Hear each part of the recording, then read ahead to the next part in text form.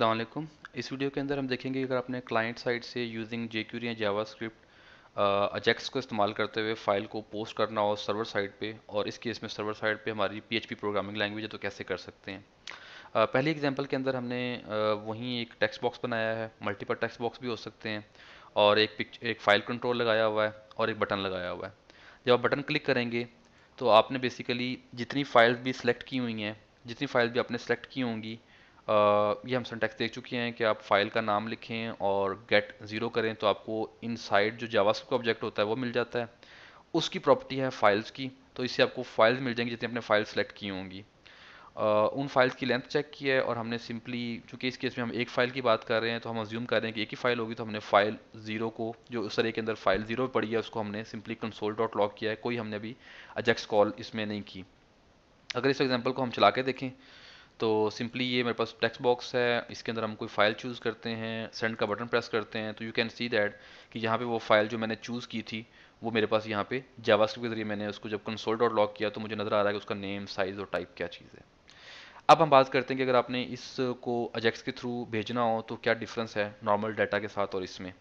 यहाँ पे syntax same है। आपने सिंपल माई फ़ाइल कहा है और पीटीएन अपलोड कहा है। यहाँ पे हमने अब जो है हम जेसॉन ऑब्जेक्ट की बजाय फार्म डाटा की हमारे पास एक क्लास अवेलेबल है एच टी की वजह से आप इसको इस्तेमाल करेंगे। तो आपने यहाँ पे पहला काम वही किया कि आपने जे जेक्यूरी के ज़रिए जेक्यूरी का कह के आपने इनसाइड जो उसके हिडन जावास्क्रिप्ट ऑब्जेक्ट है, उसके थ्रू फाइल्स गेट की हैं। इस फ़ाइल में मल्टीपल फाइल्स भी हो सकती हैं। इस एग्जांपल में हम एक फ़ाइल की बात कर रहे हैं। तो आपने उस फ़ाइल को प्रिंट भी किया है और आपने इस फ़ाइल जो डाटा का वेरिएबल बनाया था, उसके अंदर अपेंड कर दिया है। कोई की देकर अपनी वैल्यू को। तो हम यहाँ पे अपने इस डाटा के अंदर इस की के अगेंस्ट ये फ़ाइल रखवा दी है।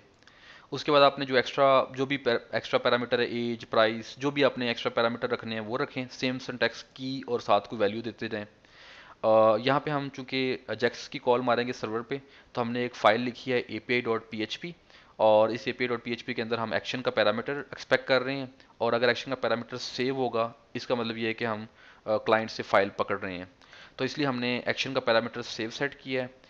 ये वही पैरामीटर है जो हम देख चुके हैं पहले भी कि आपने टाइप बतानी है यूआरएल बताना है। यहाँ पे दो चीज़ें एक्स्ट्रा आ रही हैं जो कि नॉर्मल एजेक्स कॉल में नहीं होती। आपने कंटेंट टाइप को फॉल्स करना है प्रोसेस डाटा को फॉल्स करना है और डाटा को आपने डाटा दे देना है। सक्सेस का फ़ंक्शन दिया है, जो रिस्पॉन्स आएगा, उसको अपने अभी अलर्ट किया है एरर के फ़ंक्शन में आपने एरर को अलर्ट किया और आखिर आपने एजेक्सी कॉल भेज दी है सर्वर की तरफ़। जब ए पी की डॉट पी की बात करते हैं तो जो फ़ाइल हैंडलिंग की लॉजिक आपने लास्ट एग्जांपल में देखी थी लास्ट वीडियो में, वो हमने अभी तक यूटिलिटी डॉट पी में लिखी हुई है।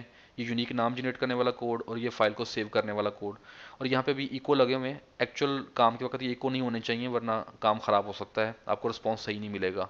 अभी हम टेस्टिंग कर रहे हैं, इसलिए हमने इको डिफरेंट तरह के लगाए हुए हैं यहाँ पे अगर ए डॉट पीएचपी में आते हैं तो यहाँ आपने रिक्वेस्ट के ज़रिए तो आपने वो पैरामीटर गेट कर लिया। फिर अगेन चूँकि सर्वर साइड प्रोग्रामिंग है तो आपको फ़ाइल जो है वो डॉलर अंडरस्कोर फ़ाइल से मिलेगी। पहले आपने चेक किया कि फ़ाइल आई भी है कि नहीं आई। अगर फ़ाइल आई है तो आपने उस फ़ाइल से T M P underscore name और आपने नेम गेट किया राइट ये मेरे पास टी एम पी नेम वो पाथ है जो सर्वर साइड पे इस फ़ाइल का स्टोर्ड पाथ है। यानी फ़ाइल यहाँ पे जाके सेव हो चुकी है। और ये वो नाम है जो क्लाइंट साइड से गया है। आपने ये दोनों चीज़ें पास की हैं सेव फ़ाइल को, उसने इसको सेव करवाने के बाद आपने कहा इको ट्रू कर दो। यहाँ पे आप जेसॉन वगैरह में कन्वर्ट करके भेजेंगे, लेकिन अभी हमने इसको सिंपल ट्रू करवाया है।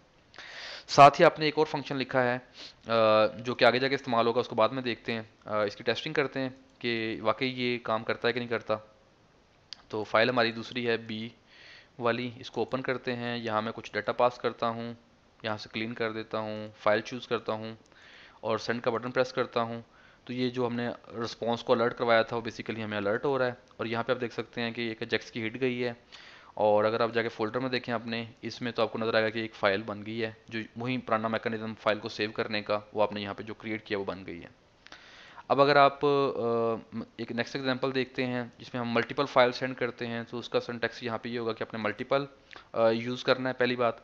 उसके बाद आपने थोड़ा सा डिफरेंट यहाँ पे हमने ये किया है कि चूँकि अब फ़ाइल ज़्यादा होंगी तो हमने ज़ीरो की बजाय हमने एक लूप लगाकर जितनी भी फाइल्स आई हुई हैं, उन फाइल्स को हमने अपने डाटा के अंदर अपेंड कर लिया है। लेकिन प्रॉब्लम ये है कि आप एक की को इस्तेमाल नहीं कर सकेंगे। अगर आप एक की इस्तेमाल करेंगे तो फिर जो नेक्स्ट आप अपेंड किया करेंगे, वो ओवर हो जाएगा, क्योंकि एक ही अगेंस्ट एक ही डाटा आ सकता है। लेकिन अब यहाँ पे अपना ट्रिक ये खेला है कि आपने कहा जो इंडेक्स है साथ उसको भी अपेंड कर देते हैं। तो अब मेरी की के नाम बन जाएँगे my file dash zero my file dash one my file dash two तो ये मेरे पास जितनी फाइल्स भी आई होंगी वो इस डाटा में अपेंड होती जाएँगी इस तरह करके। Uh, साथ हमने अपनी आसानी के लिए एक एक्स्ट्रा वेरिएबल ले लिया है जिसके अंदर आपने फ़ाइल का काउंट रख लिया है ताकि सर्वर साइड पे जाके हमें कुछ एक्स्ट्रा लॉजिकल लिखनी पड़े। हम इस काउंट की बेस पर डिसीज़न कर लेंगे कितनी फ़ाइल क्लाइंट से आई हैं। बाकी जितने आपके एक्स्ट्रा पैरामीटर हैं एज प्राइस वगैरह, वो डाले हैं और साथ आपने एक एक्शन डाला है बिकॉज़ आपने ई को हिट मारनी है तो वहाँ डिसीज़न करना है कि किसके लिए कॉल आई है। तो आपने कहा कि इस केस में सेव ऑल कर देते हैं और बाकी सारा सेंटेक्स वही जो हमने अभी पहले एग्ज़ाम्पल में देखा है। अब जब यहाँ से हिट जाएगी एपीआई को तो वहाँ पर कौन सा एक्शन कॉल होगा? सेव ऑल वाला। तो यहाँ पर आपने पहले फ़ाइल काउंट को देखा है बिकॉज़ वो नॉर्मल डाटा है। उसके बाद आपने फ़ाइल काउंट को निकाला है। एक लूप चलाई है उस काउंट के ऊपर। अब अपने जो डॉलर अंडरस्कोर फ़ाइल से डाटा लेना है तो आप खाली माई फ़ाइल नहीं कह सकते because my file is not any key असल में कीज़ कौन सी है? My file dash zero my file dash one तो आपने उसी इंडेक्स को उस तरह कनकेट करके बोला कि मुझे पहली फ़ाइल दे दो दूसरी फ़ाइल दे दो। फ़ाइल मिलती जा रही हैं उस फ़ाइल से आप टेम्प नेम और नेम गेट करते जा रहे हैं और फिर आप सेव करते जा रहे हैं। तो यहाँ पर वो जो आ, मसला था पीएचपी का अरेज वाला वो यहाँ पे नहीं है बिकॉज़ यहाँ पे डाटा आप खुद सेंड कर रहे हैं इसलिए वो परेशानी की बात नहीं है। अगेन uh, इसमें डाटाबेस इन्वॉल्व नहीं है लेकिन अगेन जब डाटाबेस की बात आएगी तो आपने जो नया नाम जनरेट किया होगा वो आपने यहाँ से गेट करके सेव फ़ाइल से उसको डाटाबेस में साथ सेव करवाना है। यहाँ पे आप जब एक्स्ट्रा पैरामीटर सेव करवाएँगे एज वगैरह के तो साथ वो फ़ाइल का जो नया नाम है वो सेव करवा देंगे।